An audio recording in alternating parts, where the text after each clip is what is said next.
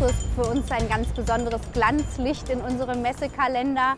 Sie füllt alljährlich die vier bezaubernden Messehallen der Messe Karlsruhe mit insgesamt 1602 vertretenen Künstlerinnen und Künstlern aus 20 Nationen. Sie ist sicherlich eine der jüngsten Kunstmessen in Deutschland mit gerade mal acht Jahren Historie.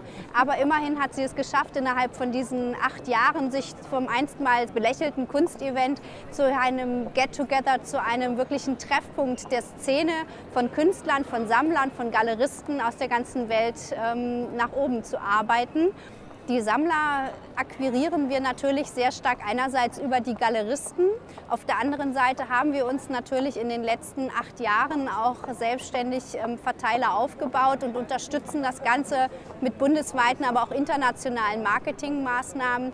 Nichtsdestotrotz versuchen wir natürlich den Kundinnen und Kunden sehr vieles recht zu machen, ein außergewöhnlich hohes Serviceniveau zu bieten. Und ich glaube, auch das unterscheidet uns von anderen Messeplätzen.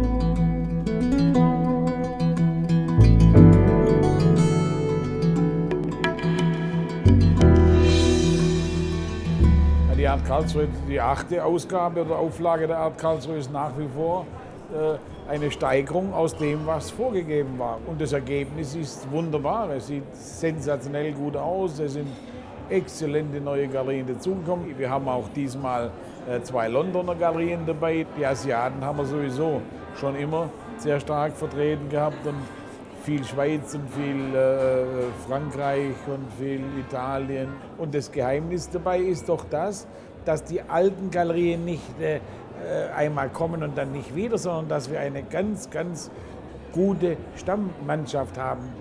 Ja, es gibt ja von der klassischen Moderne hochrangige Händler, die mit äh, sehr teuren Objekten handeln, bis hin zu den äh, Programmgalerien, die aktuelle Künstler zeigen, aber dann noch diese großartige Skulpturenplätze, die ich anfangs eingerichtet habe. Und das gibt dieser Messe dieses einmalige Flair, weil die Skulptur die gleichrangige Bedeutung hat wie die Malerei. Ich glaube schon, die Mischung ist es, dieses Nebeneinander, der Dialog zwischen alter Kunst und neuer Kunst, zwischen Skulptur und Malerei. Es ist alles angelegt auf Dialoge.